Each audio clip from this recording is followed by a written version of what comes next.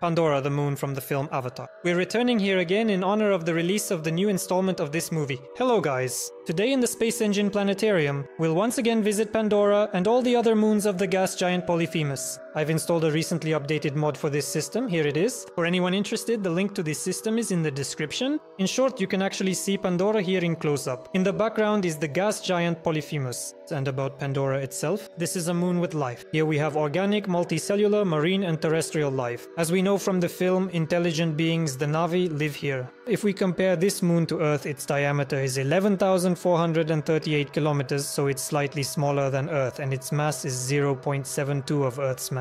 Let's descend to the surface of Pandora, right away, somewhere in this area. Here we can see a continent. And right away we can see vegetation. And if we look along the horizon, this is the landscape here. So a bit more on the characteristics. The atmosphere here consists of nitrogen, carbon dioxide, oxygen, xenon, methane, and there's also hydrogen sulfide. I'll show you in more detail later, guys. The pressure is 1.1 atmospheres, so a little more than on Earth. And the average temperature is 21 degrees Celsius. Let's look around and see how everything looks here. If we turn this way, we can see some kind of moon. The gas giant Polyphemus has many moons, so the views here will of course be very interesting. And here we see the star. Here we have the star Toliman or Alpha Centauri b. However, in reality, this system where Pandora is located is in the Alpha Centauri star system, D. And so, the gas giant Polyphemus and Pandora orbit the star Alpha Centauri A. Here, this star is called Rigel Centaurus. Now I'll fly back into space and I'll demonstrate Pandora to you in more detail. I'll hide the display of the atmosphere and clouds for you. And let's assess the total amount of land and water on the planet. In principle, everything is fairly even, as you can see,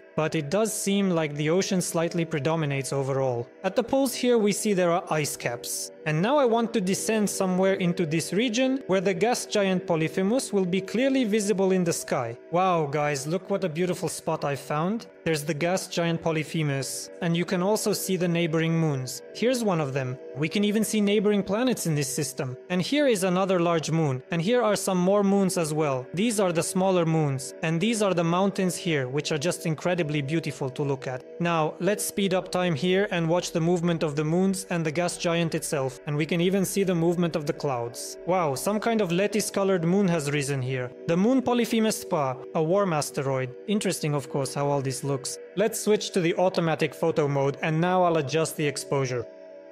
There guys, this is probably about how we would see it in the sky. And now a star is rising. If I catch the moment, I'll show you the sunrise. Well, actually the sunrise is happening behind the mountains, so you can't see the star from here. And by the way, let's take a look at this place during the day. We can see a stunning view. Let me go down a bit lower. We can see a lot of vegetation on the mountaintops. And here we have a lake or a river. It looks more like a river. But in general, we can go down here. And some water has made its way over here. Now let's get near the coast. I'll show you how things are here. I'll set it to normal time mode. Well, basically this is a very interesting spot on Pandora. Look at the dense clouds that are starting to cover this place. But you can still see the gas giant shining through them. Now I'll descend somewhere around here on Pandora. Let's see what it's like here, where there are fewer mountain peaks and more flat areas. We can see mountains in the distance. Remember in the second movie, they oftentimes showed us an eclipse on Pandora throughout the film. Let's try to recreate the eclipse in the planetarium. It wasn't that simple. I had to fast forward time to get the gas giant Polyphemus and the stars to line up, so to speak. And now you'll be able to see the eclipse. Here we have Alpha Centauri A approaching Polyphemus. I'll speed up time even more and let's see how it looks. I'll even zoom in with the telescope and now you'll see the star's eclipse. Now we can slow down time just a little bit. And so, in fact, that's how an eclipse happens on Pandora. Wow, that looks gorgeous. Resetting the zoom.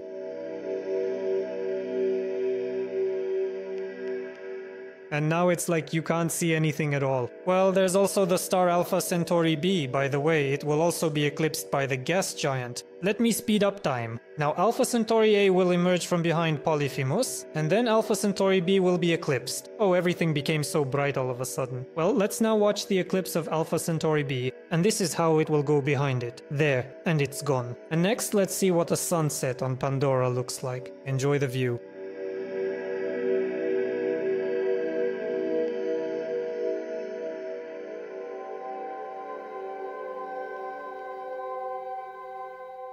That was amazing.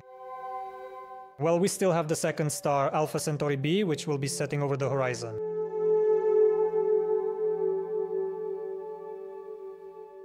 And now it will be almost completely night on the moon. And let's look at the night sky. Yeah, well, in general, you can see the large Magellanic Cloud, the satellites of the Milky Way. You can see the small moons of Polyphemus and the large moons. And Polyphemus itself. I also decided to put a city like this here, as if this is a human base on Pandora. Let's fly into one of these domes, for example, right here. And what will we see here? We can see Alpha Centauri B, and over there in the distance Polyphemus is peeking out. Cool. If we decide to move somewhere over here and then perhaps somewhere over here and actually look at Polyphemus, well, that's just really incredible. I'll also speed up time. Well, in accelerated time, of course, it's more interesting to watch.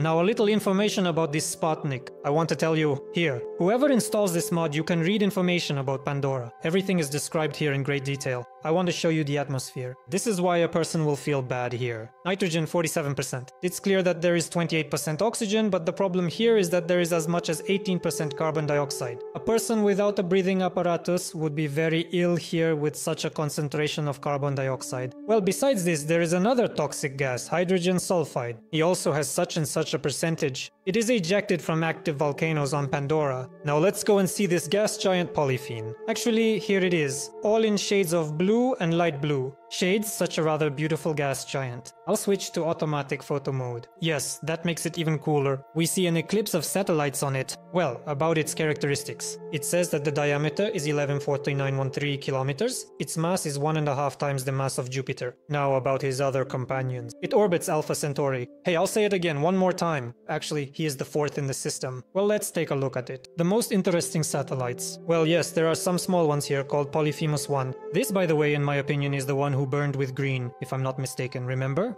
Next comes the second satellite called Galatea. Well, it's kind of egg-shaped, a plus prize, because here the sunny day is just under 5 hours but it is small, only 1148 kilometers in diameter. There is some kind of xenon atmosphere. But I think it would be more interesting to fly to the Sputnik, Apion. It has such an interesting name. Here it is already in a round shape, but it is already quite large, 4593 kilometers. But there's no atmosphere on it, guys. That's why I won't even go down to the surface. Let's see what's interesting next. Here is a satellite called Geolos. Here too is an atmosphereless object. In fact, it looks a little bit like the moon in some way. While the series is essentially enough, I suggest we return to this egg-shaped satellite. And I'm interested in just landing somewhere around here. And since we're closer to the gas giant Polyphemus, it should be absolutely enormous here in the sky. Let's take a look. Well, yes, that's right. That's how big our Polyphemus is here in the sky. Well, if you switch to HDR mode, then no. Still, in auto mode, it's somehow more atmospheric. This whole thing looks good. Let's speed up time a little more. Well, not even a little. Let's speed it up a thousand times. Well, here we see a change of phases. Here, of course, there is a certain capture, therefore it does not move in the sky. And here's what's interesting. I fly out from this Sputnik and see these red areas on it. Wow. Well, just a red light and that's it. The temperature here is... Ah, right now it is 896 degrees Celsius. Wow. Perhaps due to the friction that is created by the polyphene material, there are actually some frayed areas right here.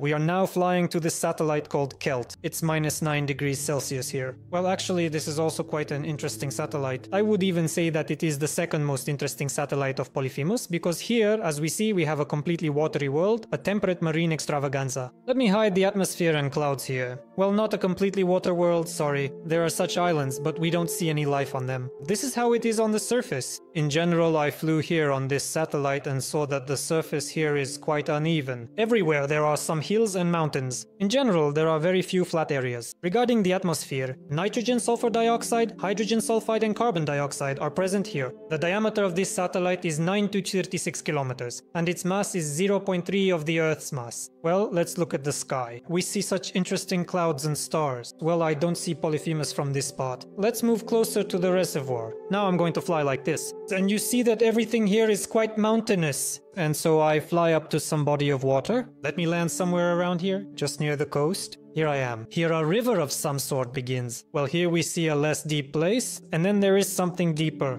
And let's take a look at what we have here in the sky. Well, in short, this is such an interesting alien landscape. Well, for the sake of interest, let's go down some more. Somewhere around here. By the way, I was thinking about going down, but here you see there's such a thin strip where there's no lighting. Let's go down somewhere around here. I see we have a continent. As I understand it, from here we will be able to see the gas giant Polyphemus in the sky. It will be a little smaller than on Pandora because we have moved a little away from it. Well, actually, this is what it looks like here. And by the way, I would also like to see Pandora from its surface. We have Pandora somewhere there. Let's move on. Here's Pandora. Wow, she certainly looks really good. We can use a telescope, zoom in, and look at it. Well, yes, through the atmosphere of this satellite Pandora, it is somehow really, really red. Well, by the way, I'll speed up time and you'll now see how Pandora will, on the contrary, get closer to this satellite. Well, let's move away. Well, as you move around the Polyphemus, it will be different. Its size. By the way, I focused on it, you see, it became very dim there. Well, and now I haven't seen her for a day, and now it will come closer again. Look, look right there at Pandora. Again, this is very close. This is probably one of the closest points to it. Well, it's very visible, a truly magical view. That's certainly true. Here I have enlarged it, here I dropped it. And let's stop time like this. Well, we can increase it again. Well, this time Pandora doesn't look so red anymore. Most likely we were just looking close to the horizon. Now let's see what other interesting satellites are here. We still have some left. Well, here is the next satellite called Illyrius. It is minus 12 degrees, the diameter is 8846 kilometers. Here it is by mass, 0.26 of the Earth's mass. The atmosphere is composed of nitrogen, carbon dioxide, sulfur dioxide, and hydrogen sulfide is also present. The pressure is 0.75 atmospheres. And here we have a temperate marine Carbonia. We can also see some islands here. Well, if it's a marine world, then there must be continents as well. Yes, in fact, here you can see the continents. It's a rather desert-like world here.